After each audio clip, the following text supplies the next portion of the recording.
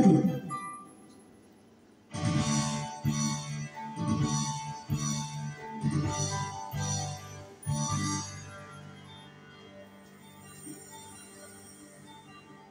落書きの教科書と外ばかり見てる俺超高層ビルの上の空届かない夢を見てるやり場のない気持ちの扉破りたい校舎の裏タバコをふかして見つければ逃げ場もない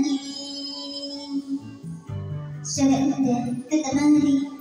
背を向けながら心の一つも分かり合えない。大人たちを睨むそして仲間たちは家での計画を立てるとにかくもう学校や家には帰りたくない。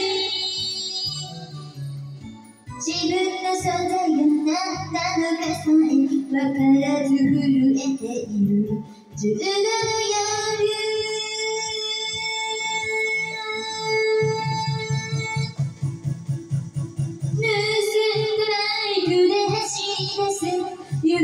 行く先もわからぬまま暗い夜の隣の中へ。誰にも縛らない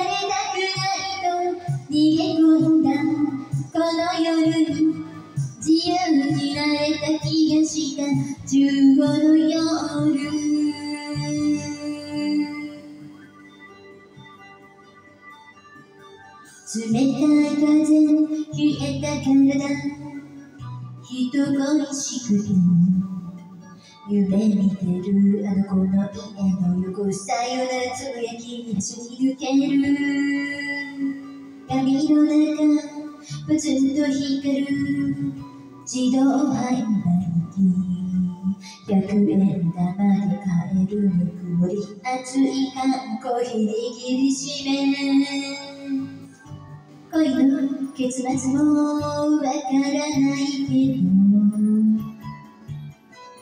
あの子と俺は将来さえずっと夢に見てる、oh、大人たちは心を捨てろ捨てろと言うが俺は嫌なのさ退屈な授業は俺たちの全てただなんちっぽけでなんて意味のないなんて無力な十分な夜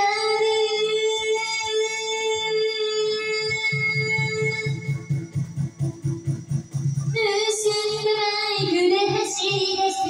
行く先もわからぬまま暗い夜の帳の中。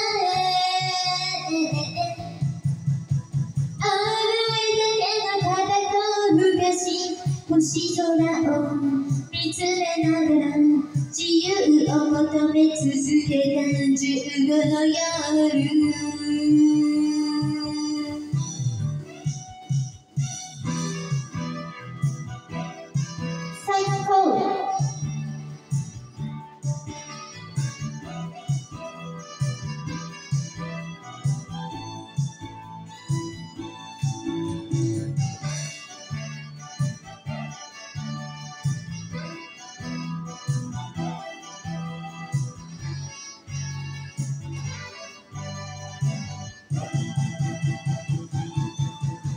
盗んだバイクで走り出す行く先もわからぬまま暗い夜の隣の中へ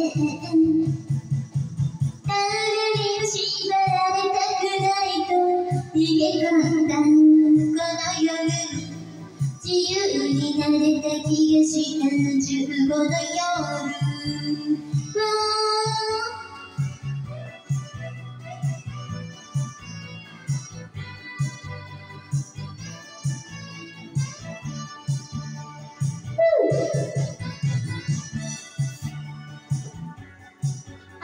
楽しかった。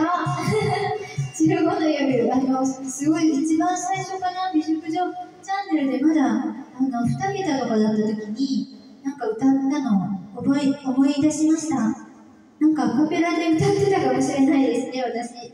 すごい楽しかったんですけどもあのまたやってみました。しかもセーラー服でやってみました。いかがでしたでしょうか？ジュディ・プリンセス。15の夜セーラー服コスプレやりました。ありがとうございました。